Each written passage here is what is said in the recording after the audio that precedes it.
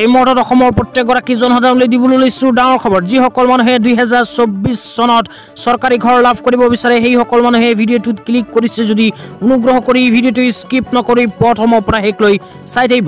কিয়নো আহি গ'ল দুহেজাৰ চৌব্বিছ চনৰ চৰকাৰী ঘৰৰ নতুন লিষ্ট এই লিষ্টত যদি আপোনালোকৰ নাম অন্তৰ্ভুক্ত থাকে তেন্তে আপোনালোকৰ বেংক একাউণ্টত সোমাব চৰকাৰী ঘৰৰ প্ৰথম কিস্তিৰ টকা। তো আপোনালোকে যদি চৰকাৰী ঘৰৰ কাৰণে আবেদন কৰিছিল আৰু নতুন লিষ্টত আপোনালোকৰ নাম অন্তৰ্ভুক্ত হৈছে নে নাই চাব বিচাৰে তেন্তে অনুগ্ৰহ কৰি ভিডিঅ'টো স্কিপ নকৰি প্ৰথমৰ পৰা শেষলৈ চাব মোৰ চেনেলত নতুন হ'লে চেনেলটো ছাবস্ক্ৰাইব কৰি মোৰ লগত থাকিব ভিডিঅ'টো শ্বেয়াৰ কৰি আপোনালোকৰ বন্ধুবৰ্গকো চোৱাৰ কাৰণে সুযোগ প্ৰদান কৰিব। তো বলক ভিডিঅ'টো আৰম্ভ কৰি এই বিষয়ত আমি বিস্তাৰিত জানি লওক। ইয়াৰ কাৰণে মই অফিচিয়েল ৱেবছাইটটো অ'পেন কৰি ৰাখিছোঁ আপোনালোককো জনাই দিম কেনেকৈ অ'পেন কৰিব।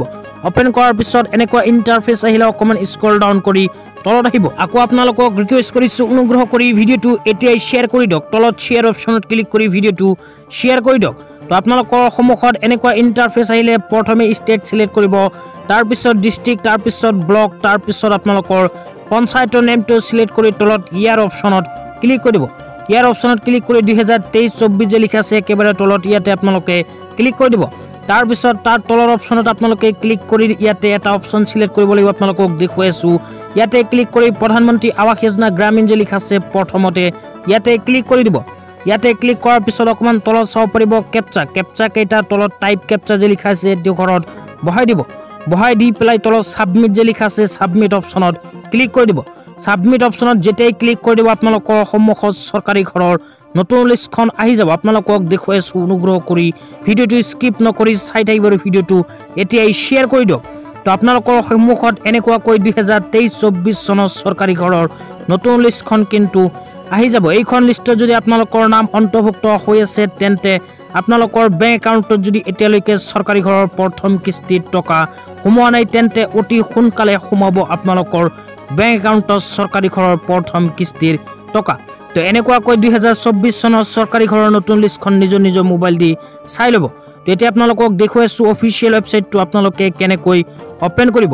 ইয়াৰ কাৰণে নিজৰ নিজৰ মোবাইলৰ ক্ৰম ব্ৰাউজাৰটো অ'পেন কৰিব। ক্ৰম ব্ৰাউজাৰ অ'পেন কৰি পেলাই চাৰ্চ বাৰত জাষ্ট লিখিব P M A Y G dot N I C dot I N তো P M A Y G dot N I C dot I N লিখি যেতিয়া চাৰ্চ কৰি দিব আপোনালোকৰ মোবাইলত এনেকুৱাকৈ অফিচিয়েল ৱেবছাইটটো অ'পেন হ'ব আপোনালোকক দেখুৱাই দিছোঁ। অ'পেন হোৱাৰ পিছত আপোনালোকে ৰাইট ছাইডত চাব পাৰিব থ্ৰী লাইন তো ৰাইট ছাইডত থ্ৰী লাইন যে দিয়া আছে ইয়াতে আপোনালোকে ক্লিক কৰি দিব। তো ইয়াতে যেতিয়া ক্লিক কৰিব আপোনালোকৰ সন্মুখত লেফ্ট ছাইডত এনেকুৱা কেইটামান অপশ্যন আহিব। ইয়াৰ মাজৰ পৰা আপোনালোকে আৱাজ শ্বপ লিখা এটা অপশ্যন পাব।